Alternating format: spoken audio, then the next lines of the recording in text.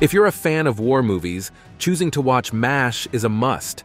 It's not just any war comedy TV series, it's hailed as America's top choice. MASH served as the starting point for famous actors, including the talented Alan Alda, who played the role of Captain Hawkeye Pierce. Oh, sorry, baby. Major to you. Why, sorry, Major, baby. Alan Alda himself felt incredibly lucky for the immense popularity of his character. However, behind the scenes, there was a different story unfolding. Tensions and conflicts among the cast members created an uneasy atmosphere. Nothing going on. They should let us go home. Are you curious about what went on behind the scenes of this movie? And interested in learning about the fascinating life of Alan Alda? You definitely don't want to miss this video as we unravel the only co-star who truly hated Alan Alda on MASH. MASH, history of this groundbreaking show. MASH, the fascinating mix of cleverness and drama that earned a special place in TV history. Think of it as a big nod to the stunning skill of storytelling. This awesome show happened during the Korean War, and it didn't just get a ton of viewers, it changed how TV shows were made. While the stories on screen kept millions hooked, the ones behind the scenes about the cast and the unexpected stuff are just as interesting. Some of these mysterious tales, not everyone knows, even the superfans. They add an extra layer of mystery to the show's legacy. It goes beyond what you see on camera, digging into the intricate stories that made this series iconic. When you look back at TV history, some shows stand out way beyond their time, leaving a mark on how people see things. MASH is one of those shows, a great example of mixing humor with drama, finding just the right balance. Knowing the historical background is key to understanding why it was such a big hit and how much it influenced the people who watched it. MASH, which stands for Mobile Army Surgical Hospital, comes from a book by Richard Hooker in 1968. It's a novel about three Army doctors, and Hooker, along with writer W.C. Heinz, wrote it. The book is like a funny critique of the Korean War and what the medical staff went through. The story follows a group of surgeons dealing with the chaos of war, with both crazy and touching moments. Turning this gripping tale from pages to the small screen was a bit of a risk, but it paid off. In 1972, when MASH first showed up on TV, it was a big deal. American television was changing, and this show was part of that exciting transformation. As the Vietnam War stirred up strong feelings and divided the American people, MASH came into the picture during a time of political unrest, doubt, and a widespread desire for peace. It told a story that hit home for its audience. Even though the show is about the Korean War, the challenges faced by its characters reflected the feelings of the people watching it at the time. What's cool is that despite being set in the past, the show didn't push viewers away. Instead, it brought them in, making them laugh and cry, sometimes at the same time. With its great stories, memorable characters, and smart writing, MASH quickly became a regular part of American households. People eagerly waited for each episode not just for fun, but also for its thoughtful look at war, human connections, and the mix of emotions in tough situations. MASH was a huge hit in terms of viewership. Each episode got high ratings from viewers of all ages and backgrounds. The final episode in particular broke records and became the most watched TV episode in US history, with around 77% of the public tuning in. That's a big deal, especially for a non-sports event on American television. These amazing numbers show that the show wasn't just entertaining, it had a deep emotional connection with its audience over its 11-year run. The show stayed true to itself while changing over time, keeping things fresh. MASH wasn't just a hit in the US, it found fans worldwide, airing in many countries and leaving a lasting impact as a global phenomenon when we look back on it. MASH was way more than just a TV show. It was like a big deal in the TV world. It wasn't just entertaining, it was kind of like a movement. For lots of people, it felt like a reflection of the stuff happening around them. In this show, they mixed funny stuff with serious stuff about war, showing how crazy and sad it could be. It didn't just make people laugh, it made them think. That's why it's still considered a classic that never gets old. The rivalry between Alan Alda and Mike Farrell. This movie series didn't just change the game on TV, it also let actors show off their talents in a big way. Alan Alda and Mike Farrell, two important actors on the show, had this friendly competition thing going on behind the scenes. Surprisingly, this rivalry wasn't about causing trouble. It made the show better. Alda and Farrell worked together to make the characters click on the screen. These two guys put their stamp on their characters throughout the show. Their friendly competition was more than just being buddies. It pumped up their performances. This competition even had a role in shaping one of the most unforgettable episodes, Preventative Medicine. In that one, Farrell's character, BJ, did something unexpected. Farrell thought it made sense for the character, but it didn't quite match the vibe of the show. Even though they didn't always agree, the actors found a way to work things out, and the script got a makeover to fit the show's overall vibe. The Alda and Farrell friendly rivalry wasn't just for show in one episode. It lasted the whole series. Both of them pushed each other to do their best, thinking that a bit of competition would make the show even better. And you know what? It worked. Their on-screen chemistry grabbed people's attention and played a big part in making the show a hit. Even when some other actors had a bit of a tough time, Mike Farrell stayed committed to his character. He always tried to give his best and help out his fellow actors. Working together with Alan Alda, they created something special that made MASH one of the best shows on TV. If you're just starting to watch the show, the awesome teamwork between these two actors shows how powerful it is when people work together and get creative on TV. Co-star Gary Burghoff. Besides Mike Farrell, another familiar name is Gary Burghoff. Gary's journey to stardom began when he got the role of Corporal Walter Radar O'Reilly in the original MASH film directed by Robert Altman. His portrayal of the lovable character was so captivating that he continued playing Radar in the subsequent TV series, becoming a key part of the show's success. Burghoff devoted seven seasons to MASH, securing his place in television history. However, his departure in 1979 left fans and the industry puzzled, sparking a cascade of rumors and speculations. Contrary to the sensationalized stories surrounding his exit, the real reason behind Burghoff's departure was a mix of personal and professional factors. Despite the immense success of the show, Burghoff found himself dealing with exhaustion and burnout. This was one of his first ventures into acting, and the long hours and high-pressure environment took a toll on the relatively new actor. The strain intensified as he faced a divorce during this period, attempting to balance the challenges of his personal life with the demands of his hectic work schedule. Adding to the complexity, Burghoff's relationship with certain cast members, especially Alan Alda, became strained. Reports suggest that working alongside Alda, who played the central character Hawkeye Pierce, was a major stressor for Burghoff. Their on-set dynamic was tense, and it became apparent that the two actors didn't get along. Burghoff was reportedly the only co-star who harbored animosity towards Alan Alda during the show's run. Commute between California, where the show was filmed, and his family home in Connecticut presented another challenge for Burghoff. Fueled by a commitment to prioritize his family over his career, he ultimately made the difficult choice to depart from MASH. So when Gary Burghoff decided to leave the famous show, it marked the end of his time on it. But that didn't mean the end of his whole career. After MASH, Gary Burghoff kept working in movies and TV. He even went back to his famous character by playing Radar again in the TV show Walter, a spin-off of MASH. However, this spin-off didn't do as well as the original show. Even with all the challenges and talk about why he left MASH, Burghoff kept going in his career until he officially stopped acting in 2010. He left behind a legacy that goes beyond just being known for his role as Radar O'Reilly. Co-star Wayne Rogers. Wayne Rogers, who played the beloved character Trapper John McIntyre, left an unforgettable impact on both the MASH cast and its audience. Trapper John, known for his cleverness and charm, stood out as one of the most memorable characters in the show, making Wayne Rogers a fan favorite. The success of the spin-off series, Trapper John Maryland, emphasized the enduring popularity of the character. However, Wayne Rogers' departure from MASH during its third season left fans puzzled. The show failed to adequately address Trapper's exit, and behind the scenes, a contract dispute emerged as one of the main reasons for Rogers' departure.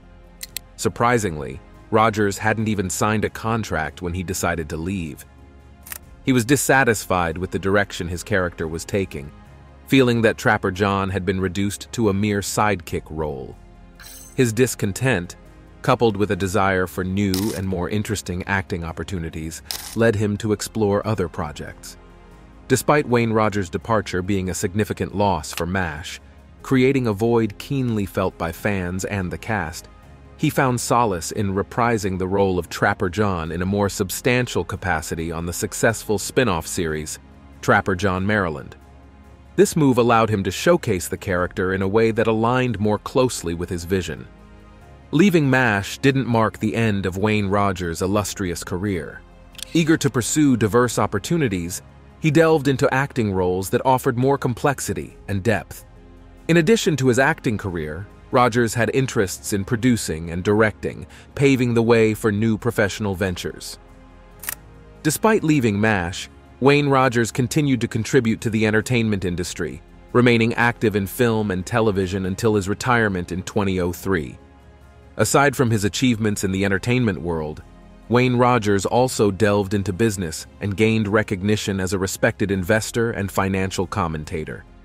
His passing in 2015 marked the conclusion of a diverse career that had a lasting impact on the entertainment industry. After his death, his co-star Alan Alda, who faced challenges with Rogers on set, expressed gratitude for their collaboration. He acknowledged the mutual respect they held for each other despite the difficulties they encountered while working together.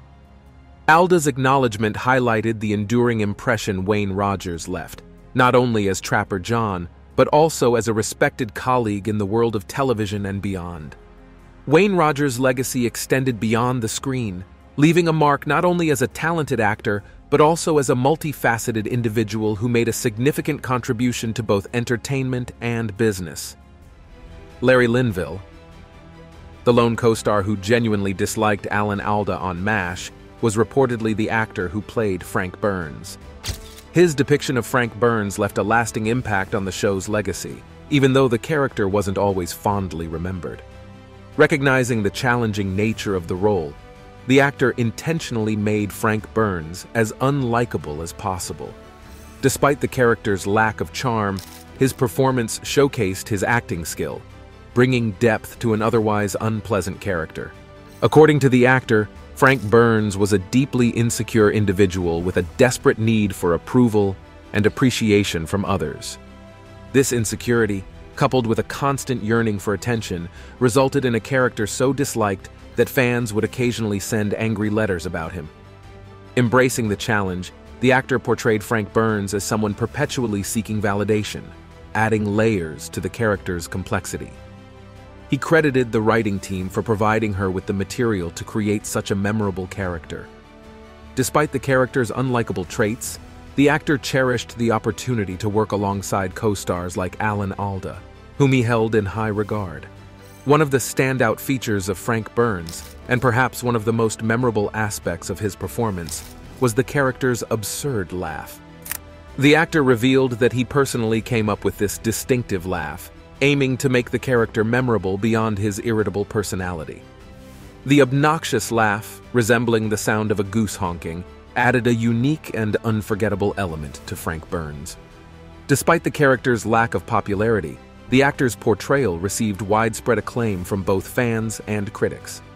For his exceptional work on the show, Larry Linville received a nomination for an Emmy Award, recognizing his outstanding performance in the challenging role of Frank Burns on MASH.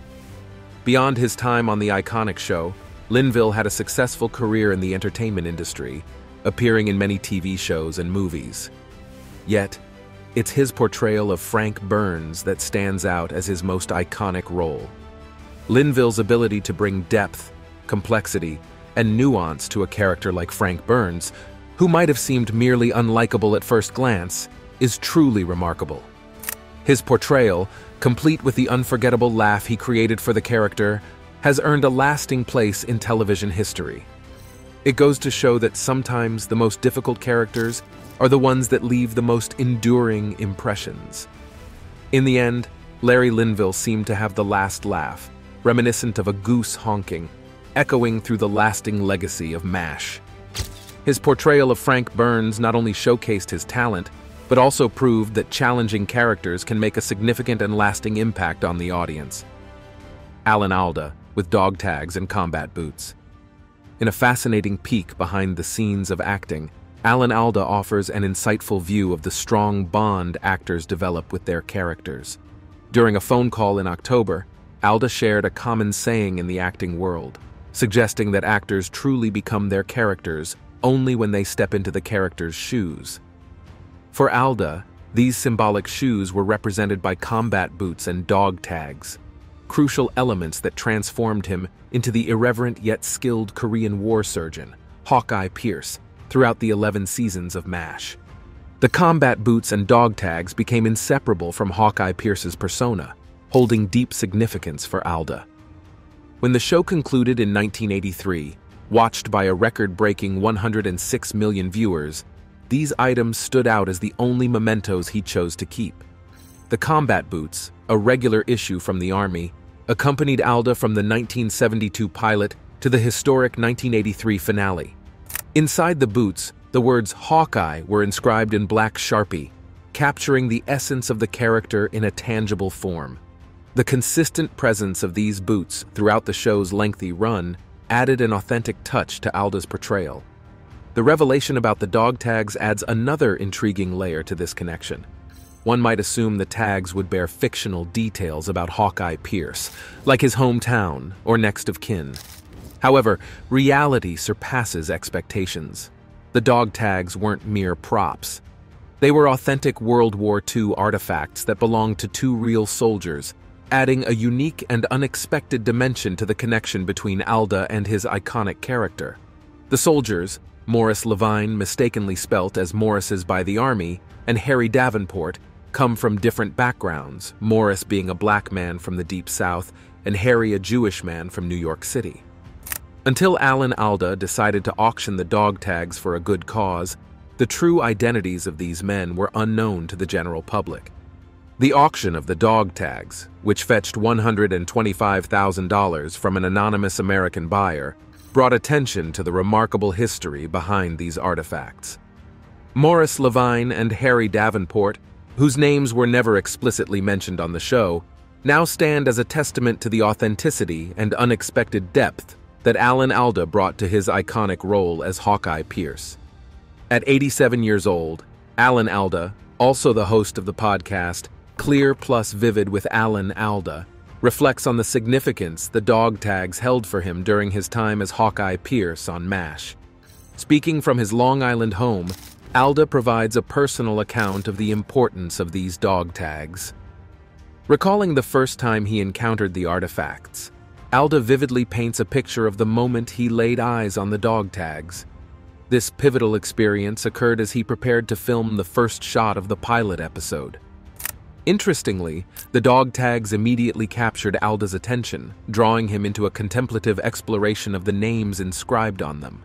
The realization that these were the authentic dog tags worn by real soldiers added a profound layer to his connection with the imaginary circumstances of the show. The revelation for Alan Alda went beyond the typical props used in TV shows. The genuine nature of the dog tags he discovered immersed him even deeper into the world of MASH.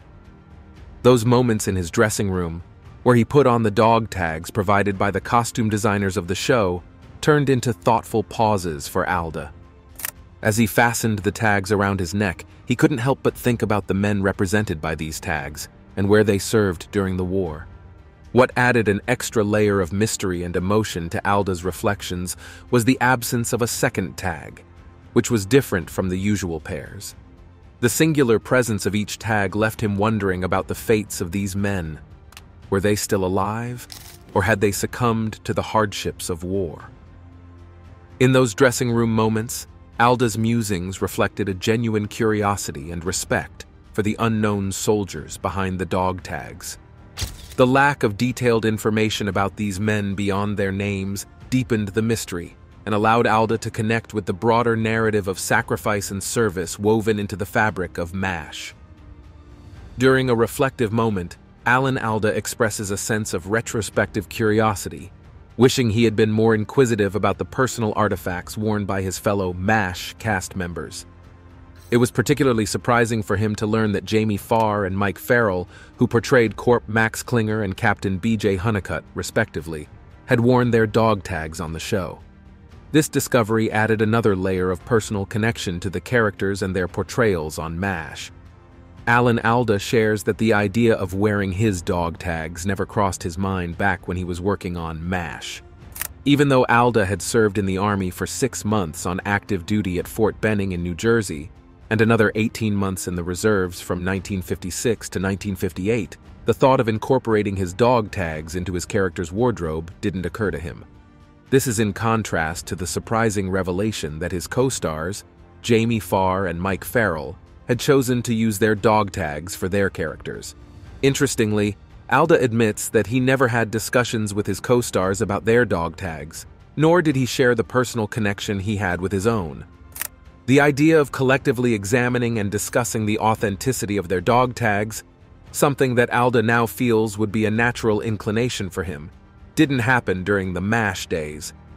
In his reflections, Alda unveils a shift in perspective, shaped by his current role as a podcast host, where curiosity plays a significant role.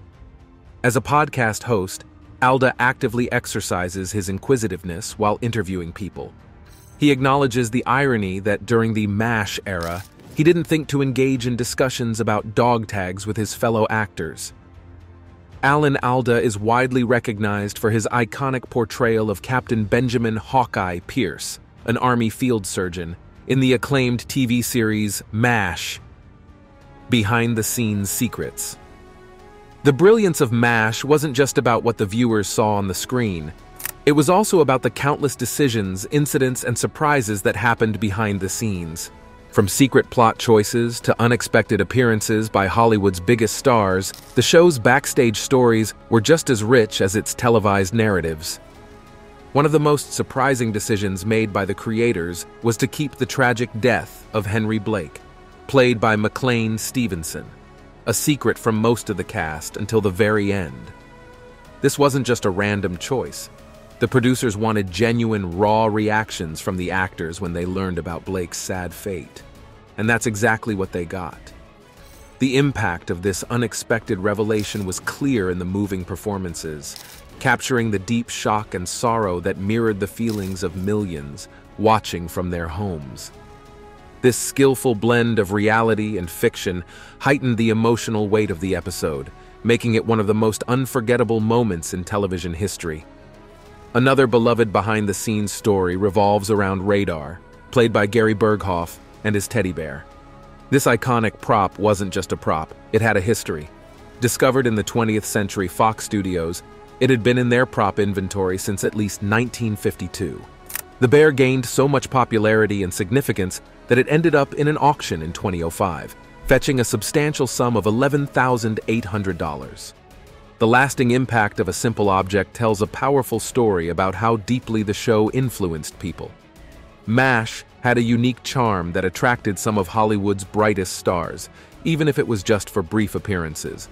Ron Howard, known for his roles in Happy Days, and later as a successful director, stepped onto the set as a Marine suffering from severe battle-induced myopia. His presence added a notable touch to the episode, considering Howard's rising prominence in the entertainment world at that time. Similarly, Leslie Nielsen, famous for his comedic roles in movies like Airplane and The Naked Gun series, showcased his versatile acting skills in a more serious role on the show. His portrayal of a stoic, duty-bound officer highlighted his broad acting range, reminding audiences of his pre-comedy days as a serious actor. Before becoming a star in movies like Dirty Dancing and Ghost, Patrick Swayze made an appearance on MASH. His role as an injured soldier with leukemia was both touching and memorable, giving a glimpse of the star's potential and future successes. The decision of such well-known actors to join MASH, even if just temporarily, emphasized the show's magnetic appeal. It wasn't just another television show, it was a cultural phenomenon that both established and budding actors wanted to be a part of. Adding to the show's history is a delightful nugget, the existence of a time capsule. As the series came to a close, cast members decided to bury a time capsule on the set, filled with meaningful mementos. This act symbolized the sense of camaraderie and shared experiences among the cast, creating a tangible link to the show's legacy. Yet this time Capsule met an unexpected fate. A construction worker unearthed it much earlier than anyone intended, just a few months after its burial, cutting short this romantic gesture. What makes MASH truly beautiful isn't only found in its episodes, but in the captivating stories that shaped its creation. The hidden secrets, the deliberate choices, and the unexpected occurrences all blended to turn the show into a multidimensional masterpiece. It's celebrated not only for its on-screen content, but for the countless tales that bubbled beneath its surface, creating a rich fabric of behind-the-scenes anecdotes. MASH isn't just a TV series, it's a treasure trove of untold stories that add a layer of magic to its legacy. Now it's time for today's subscriber pick. At Southern Connecticut State University's John Lyman Center, the vibrant Alan Alda, famous as Dr. Hawkeye Pierce, enthralled the audience with his infectious passion for life and knowledge. With seasoned storytelling grace, Alda recounted a pivotal moment etched in memory, a medical crisis in South America while filming Scientific American Frontiers for PBS. Pacing the stage deliberately, he took the captivated audience on a spellbinding journey through his post-medical emergency life. Seized by intense stomach pain, Alan Alda found himself immobilized on a sofa and later rushed to the hospital in an ambulance. A bowel obstruction threatened his intestines, demanding urgent surgery for survival. In an extraordinary blend of reality and his TV roles, Alda astounded the surgeon with his casual grasp of the impending procedure, referencing his on-screen surgical experiences. This unexpected connection added a surreal layer to the narrative, deepening Alda's gratitude for life and fueling his thirst for diverse experiences. While his lecture skipped MASH tales, the audience remained captivated. Alda's shift to his love for science and advocacy for clear explanations wrapped up the engaging talk with flair. In a Q&A session, he shared anecdotes from his early life military service, and experiences on MASH without mentioning the only co-star who truly hated him in the movie, perhaps there is none. With humor and charm, Alda debunked the myth of being a gunnery officer in the military, admitting to running a mess tent, humorously tied into the movie's story. In this unforgettable evening, Alan Alda seamlessly blended humor, knowledge, and wisdom from a brush with mortality, leaving the audience inspired and enriched. But let us know your thoughts about the only co-star who truly hated Alan Alda on MASH in the comments section. Alan Alda's connection to the military. Alan Alda's connection to the military goes beyond the TV screen, as he served as an army officer in South Korea from 1956 to 1958, shortly after the Korean War. After finishing ROTC and graduating from Fordham University in 1956, Alda received a commission in the Army Reserve and was stationed at Fort Benning, Georgia. He then served as an artillery gunnery officer in South Korea for six months before receiving an honorable discharge. Alda's time in the military had a significant impact on his portrayal of Hawkeye Pierce and influenced the overall theme of MASH. His experiences allowed him to interact with soldiers who had faced the harsh realities of war adding authenticity and depth to his character on the show. Alda skillfully blended humor with the profound and often traumatic experiences of troops in Korea. As the series progressed, he drew parallels to the Vietnam War, bringing a thoughtful layer to the narrative. Under Alda's influence, MASH found a delicate balance, offering both comedic relief and a poignant reflection on the challenges faced by those in medical units. Thanks for watching, and we'll see you in the next one.